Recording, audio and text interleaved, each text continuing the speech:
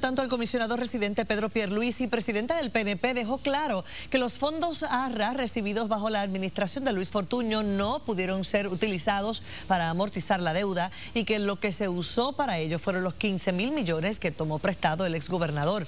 Esto, sin embargo, no fue suficiente. La cantidad fue alrededor de 7 mil millones de dólares y eso es una cantidad de fondos federales que venía eh, específicamente reglamentada.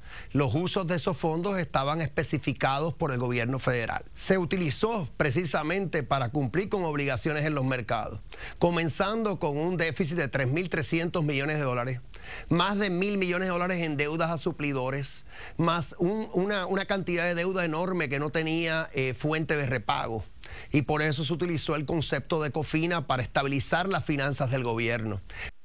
Pero Luisi dijo que está dispuesto a trabajar mano a mano con el gobernador porque no es el momento de lanzar críticas.